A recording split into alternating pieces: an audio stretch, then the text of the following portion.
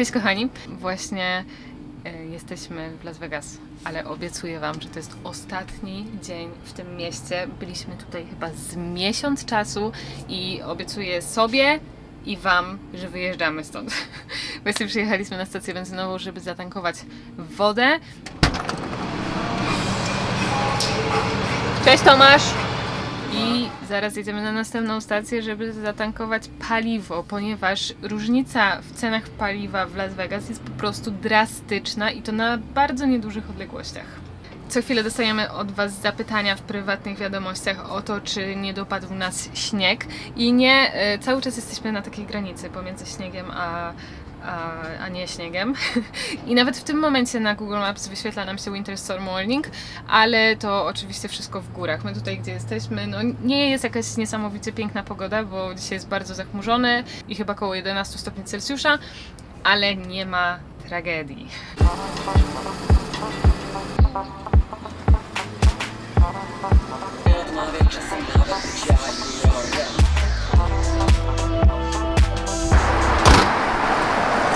Tutaj znaleźliśmy stację za 4,60, aczkolwiek na znaku pisze 4,55 ale tutaj w Stanach często tak robią, że jak się płaci cashem to jest trochę taniej. Cashem w sensie gotówką, nie w sensie no, cashem, że casha z nami nie ma, no to my płacimy 4,60.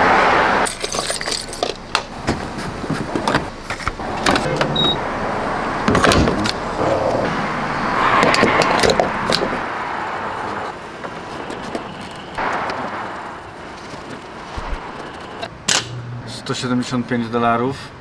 A to dopiero pierwsza część. To, a to dalej nie jest pełno. E, Tutaj pompa jest ustawiona na 175 dolarów, więcej nie, nie puści, trzeba drugi raz zapłacić. A jeszcze nie tak dawno, przed tymi wzrostami cen, pompy były poustawiane po 80-70 dolarów i musieliśmy po trzy razy tankować. Dobra, jedziemy drugi raz. Tankujemy tutaj do pełna, bo prawdopodobnie w takiej cenie paliwa już długo nie zobaczymy. Chyba, że Obyś nie spadnie, miał chyba, że racji. mocno sta- spadną ceny. Zwalnia. 227 dolarów nas ta impreza kosztowała. Przyjechaliśmy pod mój ulubiony, przeulubiony, najlepszy sklep spożywczy Trader Joe's, ale zanim pójdziemy na szybkie zakupy, e, bo podejrzewam, że tam gdzie jedziemy może być ciężko ze sklepami, także chcemy się zaopatrzyć w parę takich podstawowych rzeczy. E, tak, bo tam jak będą małe sklepy i mało sklepów, to będzie bardzo drogo. W każdym razie, zanim e, pójdziemy do sklepu, to chcemy sobie nakleić na naszą tablicę rejestracyjną naklejkę. E, My mamy rejestrację z Illinois oczywiście. Autobus z Illinois nie widział przez długie lata. Ile kosztowała ta naklejka? 115 dokładnie. Okej. Jest to opłata na rok to jest, jest to taka stanowa opłata drogowa. Oprócz tego w Illinois, w zależności od tego gdzie się mieszka, czyli na przykład Chicago, jak, czy jakaś tam miejscowość inna, to są naklejki na szybę. I to jest opłata dla miejscowości, w której się mieszka.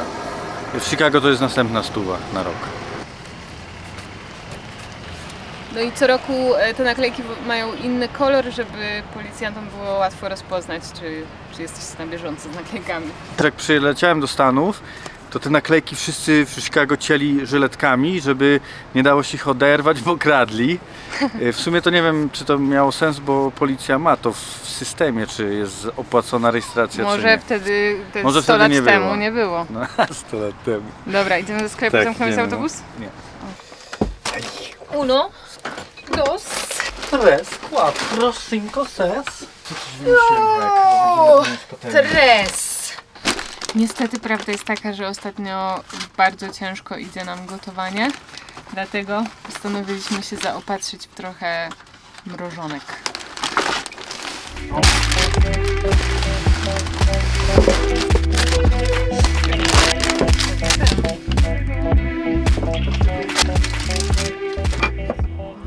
Ciekawe, gdzie my to zmieścimy teraz wszystko, to jest bardzo świetne pytanie. Nie wiem, czy mi uwierzycie, ale wyjechaliśmy z Las Vegas. Byliśmy tam miesiąc, przysięgam wam. Wyciągnęłam kalendarz i sprawdziłam, bo zapisuję sobie, gdzie jesteśmy codziennie. Byliśmy tam dosłownie miesiąc czasu. Mam nadzieję, że od tej pory będzie udawało nam się to miasto omijać szerokim łukiem. W każdym razie dojechaliśmy do miejscowości, która się nazywa Pachrump. Znaczy, wymawia się to paramp, ale pachrump brzmi dla mnie lepiej.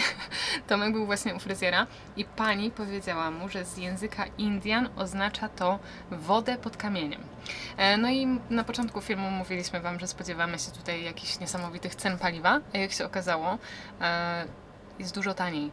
4,30 za diesla, a my w Las Vegas płaciliśmy 4,50, także Dzisiaj mieliśmy się wybrać do niesamowitego miejsca, do którego nie możemy się doczekać, żeby w końcu dojechać, e, ale niestety pogoda pokrzyżowała nam plany i postanowiliśmy zostać tu, gdzie jesteśmy. E, I rano, podczas śniadania, zdaliśmy sobie sprawę, że jesteśmy już w drodze ponad tysiąc dni, a poza tym jest to nasz dwusetny odcinek. Więc stwierdziliśmy, że fajnie będzie trochę powspominać i podsumować to nasze życie w drodze. Trzy lata temu podjęliśmy decyzję, że rzucamy wszystko i to dosłownie. Pozbyliśmy się naszego mieszkania, naszych samochodów, pracy przede wszystkim i ruszyliśmy w podróż naszego życia autobusem szkolnym, 20-letnim autobusem, który sami przerobiliśmy i tak naprawdę nie mieliśmy pojęcia, jak ta decyzja wpłynie na nasze życie i na nas samych. Pozbyliśmy się 80% naszych rzeczy. Wylądowaliśmy autobusem w rowie. W czasie pandemii dni spędzaliśmy na plaży, a noce na stacjach benzynowych. Spędziliśmy wiele świąt we dwoje w autobusie, spełniliśmy marzenie Tomka i kupiliśmy motor, który niestety ktoś później próbował nam ukraść. Mimo, że planowaliśmy jeździć ze słońcem, nieraz dopadła nas zima. Jedliśmy kokosy prosto z palmy, nurkowaliśmy w błękitnych wodach Kilargo. Musiałam nauczyć się strzyc Tomka po, że tak powiem, kilku nieudanych wizytach u fryzjerów. Morsowaliśmy w Chicago, w Utah i na Florydzie. O Wymoczyliśmy się w dzikich, gorących źródłach, widzieliśmy aligatory, delfiny, koty, koty, koty też, kozy, węże, kojoty, Odejdź ode mnie, człowieku. skorpiony, dużo goldenów, a co najważniejsze, niedźwiedzia. Mieszkaliśmy trzy tygodnie na plaży, na której później prawie utopiliśmy autobus. Dwa razy byliśmy w Polsce, w międzyczasie zostałam obywatelką Ameryki. Zadzwoniłam do Tomka po przysiędze i zaczął mi śpiewać hymn amerykański. Spaliśmy w przepięknych miejscach i również na wielu Walmartach. Widzieliśmy głowy prezydentów, zaczarowaną skałę, najpiękniejszą jaskinię, miasto duchów. Tomek spalił sprzęgło na dnie kanionu. Szukaliśmy rozbitego statku UFO pod Roswell w Nowym Meksyku. Byliśmy na pustyni pełnej gipsu. Dojechaliśmy na dziki zachód. Pojechaliśmy na zjazd autobusów szkolnych i poznaliśmy ludzi, którzy żyją tak jak my. Tomasz polubił się z kaktusami i tak szczerze mówiąc, może nawet za bardzo. Kurwa, wyrwałaś mi z paluchem? Oczywiście musiałem siąść na kaktusie. Odwiedziliśmy miasto bezprawia, szukaliśmy skarbów w Wisconsin, byliśmy kowbojami na rodeo i otworzyliśmy swój własny sklep. A nasz dom na kółkach wymagał kilku napraw w drodze. Jednego drona utopiliśmy w jeziorze Michigan, drugiego rozbiliśmy na palmie w Kalifornii, a trzeciego prawie straciliśmy na Islandii. Widzi go, czy go nie widzi? Jest! Poznaliśmy ludzi, którzy są naszą ogromną inspiracją. Zorganizowaliśmy zjazd najlepszych polskich youtuberów w USA. No para! Znaleźliśmy ślady dinozaurów, spróbowaliśmy paddleboarding. Byliśmy w centrum NASA, a rok później na teście rakiety Artemis. Sprawdziliśmy, gdzie Małysz wygrał srebro, odnowiliśmy stare przyjaźnie. Spędziliśmy 36 godzin w pociągu, przejeżdżając pół Ameryki. Pokochaliśmy Warszawę i warszawiaków przede wszystkim. Zrobiłam Tomkowi niespodziankę i zabrałam go Jak do, na Islandię? Na ile? Byliśmy w jednym z najbardziej luksusowych spa na świecie, na czarnej plaży, przy dzikich wodospadach i głaskaliśmy islandzkie konie. Chcesz trawki? Załatwię ci najlepszą trawę w mieście. Odbyliśmy pierwsze spotkanie z naszymi kochanymi patronami. Masterchefowie ugotowali dla nas obiad i spędziliśmy dużo czasu w Las Vegas. Może nawet za dużo. Znaleźliśmy zatopioną łódź i próbowaliśmy kempować pod najbardziej strzeżonym miejscem w USA, pod strefą 51. Jeśli jeszcze nie widzieliście tego filmu, to zostawiam Wam linka w opisie. Koniecznie sprawdźcie, bo bardzo, bardzo się podoba, nie? Bardzo dobry Tak, no. odbiór. Działo się. Działo się. E, W każdym razie, tak, powiem Wam tak szczerze, że zanim w ogóle jeszcze zaczęliśmy Van Life, tylko mieliśmy te plany w głowie, to oglądaliśmy sporo YouTube'a takiego vanlife'owego. Oglądaliśmy podróżowanie, pozdrawiamy Kasię i Łukasza. Oglądaliśmy amerykańskie kanały i ja widziałam, jak bardzo ta przygoda zmienia ludzi. Mhm. I starając się nie mieć żadnych oczekiwań, trochę oczekiwałam, że ta podróż przyniesie mi takiej jasności trochę, tak poznam siebie, Mhm. dowiem się, co lubię, czego chcę od życia. I totalnie już po pierwszych kilku miesiącach widziałam ogromną różnicę w moim myśleniu, w podejściu do życia. I tak, no zdecydowanie te ostatnie trzy lata to taki moment, gdzie po prostu zobaczyliśmy w sobie największą zmianę. I w sobie nawzajem, i Tak. w sobie samych. Ja ogólnie czuję się, że przez te prawie 3 lata, czyli tysiąc ileś tam dni, przeżyłem, przeżyliśmy więcej niż. Znaczy, ja będę mówił o sobie. Okej. Przeżyłem, przeżyłem więcej. Ja się czuję, że przeżyłem więcej przez te 3 lata, jak przez moje 30 lat wcześniej. Żyjąc takim stylem życia, dzieje się tak dużo codziennie, że. Że aż się traci pamięć. Tak, że się traci no nie, nie, tego ja nie spamiętać. pamiętam wiele rzeczy, ale właśnie wydaje mi się, że przez to, ile się dzieje w takim jednym nawet miesiącu. Tak, i to chodzi właśnie o to, że to są wszystko doświadczenia. E, My teraz traktujemy to wszystko, co się dzieje w naszym życiu, jako doświadczenia. Nawet jak, jeżeli to są jakieś problemy z pozoru, Mhm. tak jak jakieś awarie, czy takie rzeczy, które wcześniej po prostu tak mieliśmy w głowie e, ustawione. Emocjonalnie takie ustawione- podejście. Tak, że, że to jest problem i trzeba się denerwować, przejmować, to teraz Kłócić po prostu wiemy, że to jest kolejna rzecz, którą musimy tak jakby pokonać, przejść i doświadczyć. Tak, zdaliśmy sobie sprawę, że nasze życie po prostu się składa z takich problemów. Jak się jak pęknie nam koło, to za chwilę e, znowu się zdarzy jakaś kolejna rzecz i na tym po prostu to życie polega, że trzeba rozwiązywać te rzeczy. Tak nie? jest, tak jest. No to co, od ponad tysiąca dni e, jesteśmy w drodze i od ponad tysiąca dni nagrywamy filmy na YouTubie, a ty dalej nie nauczyłeś się patrzeć w obiektyw. Nie, Widzę, że zaglądasz no ten nie, bo podgląd. to jest na wprost mnie, to ja patrzę się na... Mogę to zasłonić. To, ale nie, nie zamknąć. patrzę. Ja nie patrzę w podgląd, już umiem patrzeć w obiektyw, prawda? Dzisiaj rano Tomek mi pokazał filmik e, tego gostka z kanału Ghost Town Living, w którym podsumował on swój 2022 rok i no mega inspirujący film i tak czułam, że możemy się z nim trochę utożsamić, Tak. podsumowując nasz, e, Nasze trzy nasze lata. trzy lata. Tak, nasze prawie trzy lata. Tak. Właśnie on mówił o podejmowaniu decyzji, o tym jak on podjął decyzję i ta decyzja zmieniła, zmusiła go do zmiany siebie i swojego świata. E, I my tak samo się czujemy, że ta decyzja właśnie wyjazdu bardzo wpłynęła na to, kim dzisiaj jesteśmy, jak myślimy, co robimy i co chcemy robić. I właśnie uważamy, że jedna decyzja może zmienić całe życie i nie musi to być jakaś ogromna decyzja, może to być mała decyzja, że od dzisiaj zaczynam ćwiczyć, od dzisiaj zaczynam pisać książkę, od dzisiaj zaczynam, yy, nie wiem, nagrywać filmy na YouTube. I ta decyzja może za 2-3 lata yy, sprawić, że Twoje życie będzie całkowicie inaczej wyglądać. Mhm. Poza tym y, przez te trzy lata y, wiemy już teraz, że my kreujemy swoją rzeczywistość, swój świat, że my wpływamy na to, jak nasze życie wygląda i że na to trzeba pracować.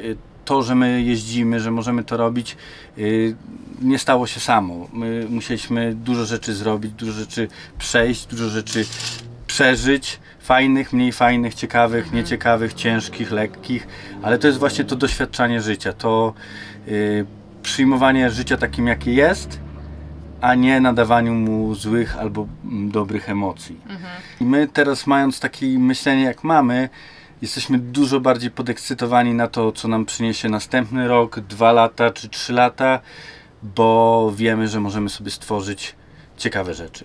Tak, wierzymy, wiemy, że myśli kreują rzeczywistość, Dokładnie. ale wiemy też, że Wy jesteście kreatorami naszej rzeczywistości e, i z tego miejsca chcieliśmy Wam bardzo serdecznie podziękować za całe wsparcie i nieważne, czy są to łapki w górę, czy komentarze, czy udostępnianie filmów, czy też wsparcie finansowe, to dziękujemy, że, że z nami po prostu jesteście i tworzymy to wszystko razem. I w tym miejscu e, chcielibyśmy wspomnieć o platformie Patronite i Buy Coffee Tu. Patronite działa na zasadzie su- subskrypcji, czyli co miesiąc e, wpłacacie nam pieniążki, które będą nam pomagać w tworzeniu e, większej ilości treści dla Was. A Buy Coffee to jednorazowa wpłata i możecie to zrobić na poczcie albo przez stronę internetową za pomocą karty.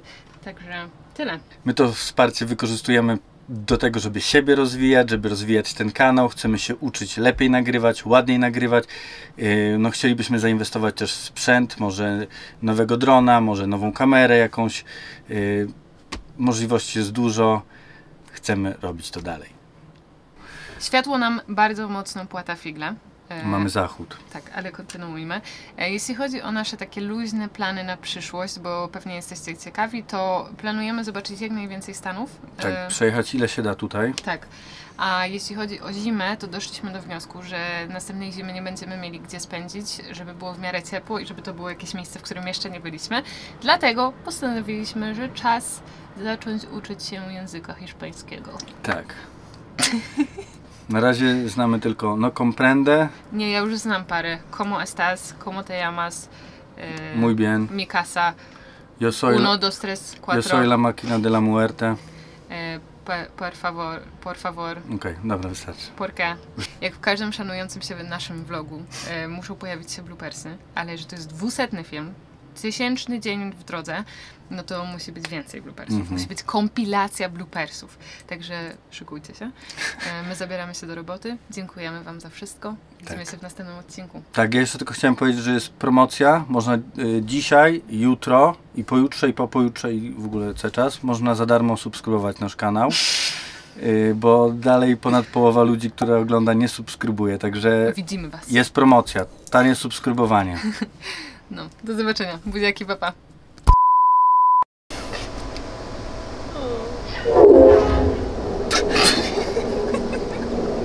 Też mnie wystraszył. Dzień dobry. Dzień dobry. Czemu ty właśnie zawsze włączasz, jak ja coś muszę głupiego robić? Ty zawsze coś głupiego robisz, jak tak.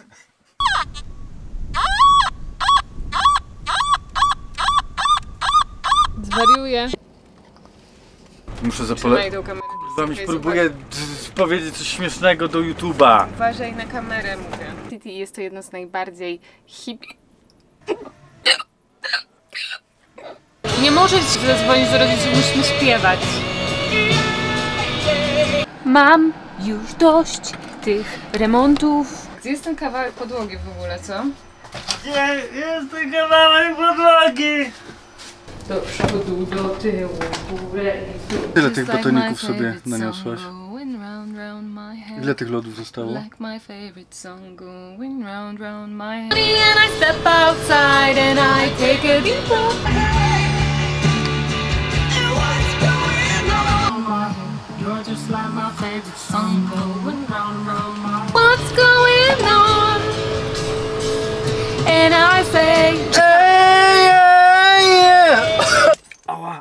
Kolca wbitego w buta. A! Kurwa, Ała!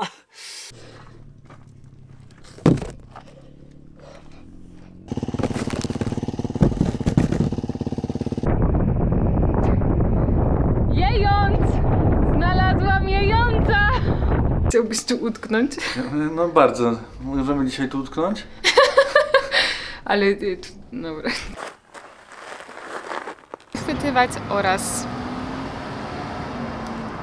O bo myślę, ja to zjem.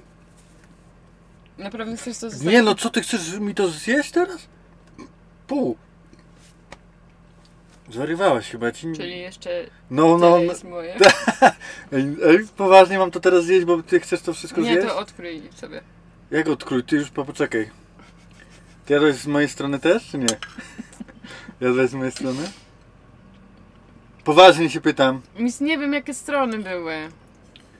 No bo teraz to co, jak my to mi na pół? to. No na pół to dzielimy. Chociaż czuję, że jestem, No weź sobie więcej trochę. czuję, że jestem oszukany, no ale dobra. Dobra, zjemy to. Całkiem na dobre nam wyszła ta z... Chyba choruję coś kuźwa, jak ja już takie słowa mówię, że dla mnie za dużo słodkiego. Jak cały dzień nie jadłem słodkiego. Cały dzień nie jadłem słodkiego, godzina pierwsza dwadzieścia, cały dzień. No ale jeszcze Jezus, nic nie jadłem od rana nie jadłem słodkiego, nie? Już taki chłop jak ja, wiesz jakie ma zapotrzebowanie na cukier? Kobieto. Wiem, wyobraź sobie, że wiem. Korki na drogach w tym Yellowstone non-stop, powiem wam. Non-stop. Jest...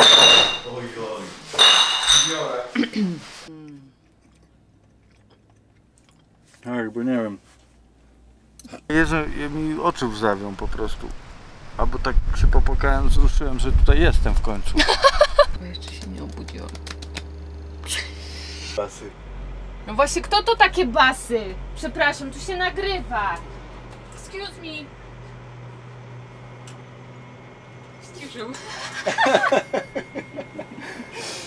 Coś masz do dodania albo ujęcia? Ujmuję całe to, bo ja to chciałam powiedzieć. Dzwonek. Mm, jedzonko, ale niedobra woda, kranowa. Nie dzwoniłaś do domofonów i nie uciekałaś? Może parę razy. Patrz, jakie to jest fajne.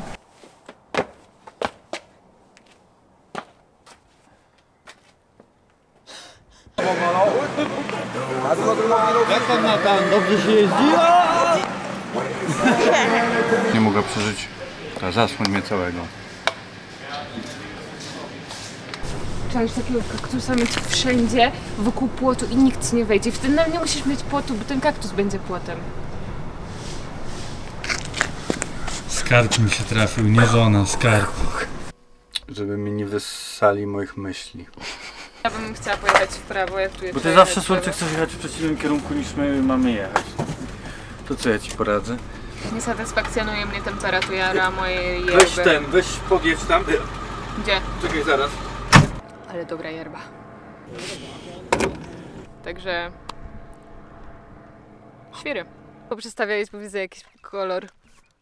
Rzeczy. A, bo ja ci poprzestawiałem ustawienia w aparacie. Mm. Um, Kaś przyszedł i mi Sorry. wszystko poprzestawiał. to nie ja. Jest okej, wybaczam. No i co, no i ja się tak napatrzyłem na te niedźwiedzie, że... Kupujemy niedźwiedzia. Że już bym chętnie poszedł się drzemnąć też, no. No. No jesteś jakiś ten ty musisz ziewać, jak ja coś zaczynam nagrywać? Jeszcze nic nie zrobiłam. Jak wstawaj, bo trzeba sprzątać. Co? Wszystko. Nie wiem, czy ja chcę rezygnować z drzemek, bo ja lubię Ani drzemać. cukru. Krówkę czy żelkę? Czy ptasie mleczko? Wiem, znam twoją odpowiedź. Przykład ostatnio kupiłam sobie i wczoraj sięgam do lodówki po mój jogurt, na który miałam taką ochotę i nie ma tego jogurtu, nie? Nie, nie ma. Ej, pytacie się, czemu mówimy do siebie Michał? Yy, także szybko skrócę. Kiedyś mówiliśmy do siebie Misiaczku, później Misiu, później Mi, później... Mi, długo mówiliśmy do siebie mi. Mi, po prostu mi. I nagle z przestworzy... Michał! Nie wiem, czy to się nagrywa, czy się nie nagrywa. Nagrywa się. Kurde. Możesz się patrzeć w obiektyw, a nie na siebie? Nie wiem, co mam więcej mówić. Patrzę się tu.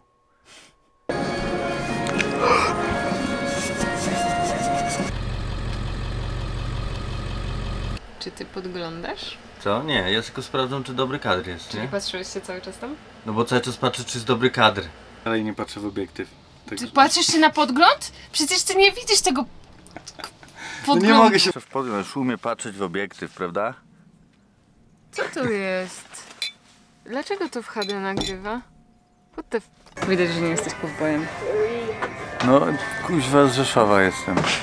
Ej, znam ich, ale nie wiem czy z YouTube'a, czy z życia. Bądź sobą. Bądź sobą, Dejtan! Dobra, jeszcze raz. Coś mi nie idzie, chyba Kaś mnie stresuje. Ja mogę wyjść. I jeszcze podsłuchuję. Najlepsze jest to. Do you speak English? Yes, I speak English. To change my default language, go to the No, it's settings okay. menu. Na Islandii każdy Islandczyk tu się patrzy, kurwa, nie tam. Co nie mówię, że co, co tu jest? No to jest taki ogólnie ciemny syrop utrzymywany w wyniku odparowania wodnego roztworu częściowo skiełkowanych, wysuszonych ziaren jęczmienia. Okej. Ile milionów koron tysięcy wyszło? 21 tysięcy. Zrobiłam dzisiaj zakupy za 21 tysięcy. Wydał tak o, co około, no, co około drugiej strony. A nie, może tak się obgryzamy. O kurwa. O kurde. O kurde. Polizałam. O siód. A pytam się, czy dać paprykę. Nadużywaj mocy, bo baterię wyładujesz w czapce. Dobra. Aż tak? O kurde, wyżej. Zjadłeś to? Czy wyplułeś? No dawaj, trzymasz to. O, zielone ogniem. Nie, Anita, później popadło. Nie, bo będzie ciemno i będziesz pijana. Chodź tutaj, weź to piwo. Chyba ślisko bardzo. Bardzo ślisko, Anita. No, dwa, jeden. Nie wiem, chciałam, żeby jej nie pryskał. Ty nie zasłoniłeś. Nie, no. To ja Ej, to na bank. Spokój! Mewa nawet nie może lecieć. Chyba nie tylko ja mam obsesję na punkcie psów, nie? Nie, nie mieścisz się w karze, jesteś taki wielki.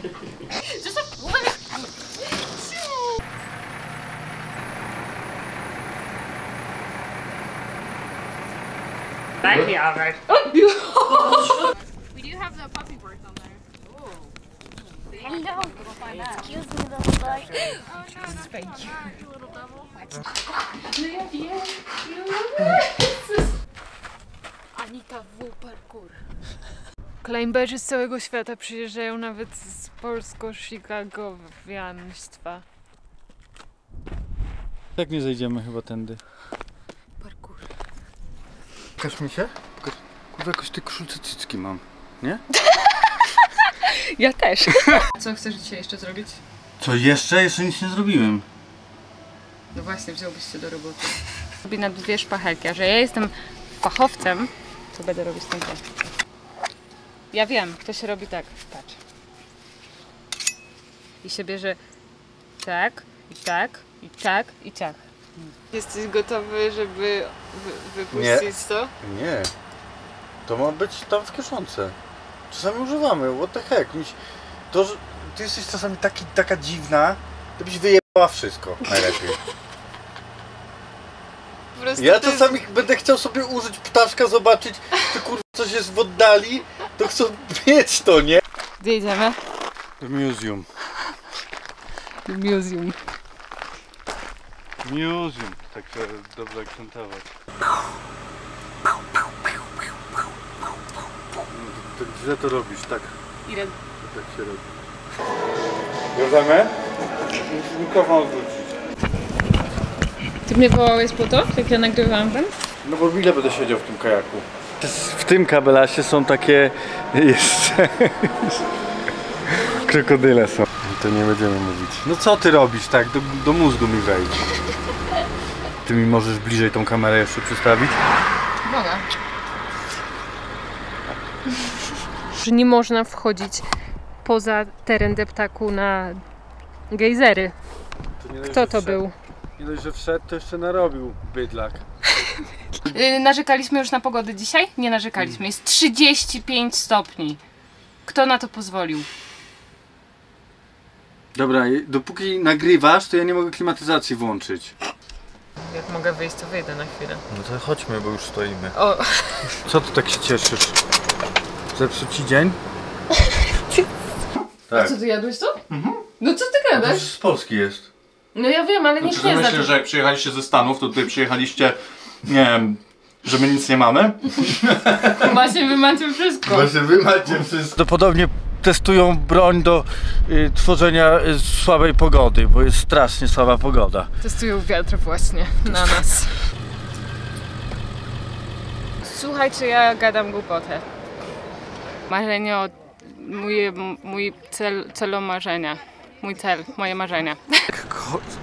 Kurde. Ten znak... Ha, ha. Następną rzeczą, jaką. Następną rzeczą jest. Nie, nast...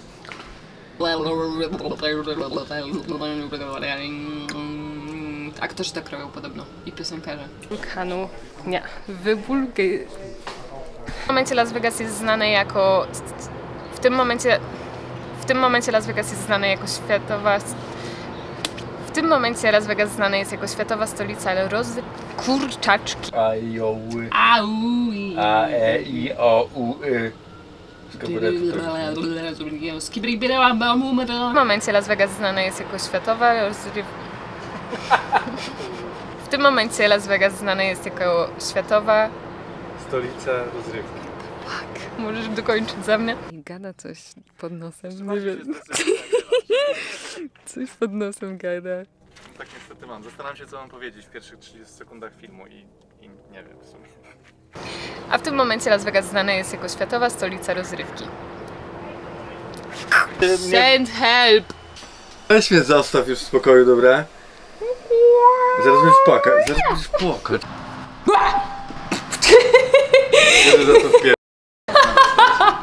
Weź mi podaj, bądź fajną żoną.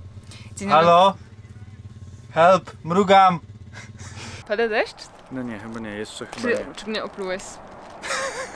Poważnie Możliwe. sobie dam. To jest dziwne, to jest. Ty jesteś dziwny. Świat nie widział takiego dziwactwa. Niech patrzy. Tak. Nie, to było z nosa.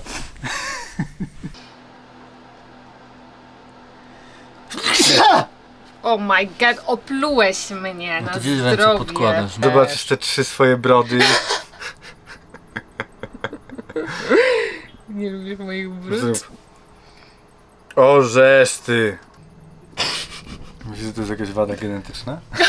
Ja to robię zawsze tak.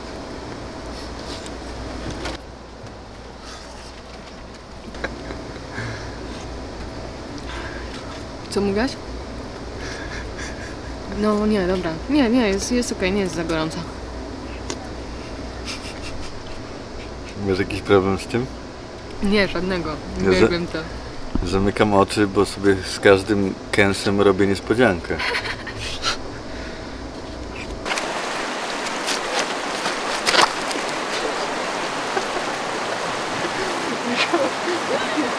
Akurat się kurwa popatrzyły.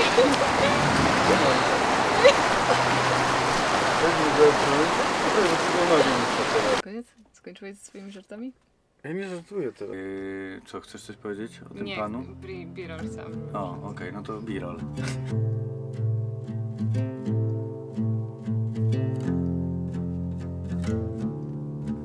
You got the white knuckles holding on it tight, keeping your feels bottled up inside, heading for collision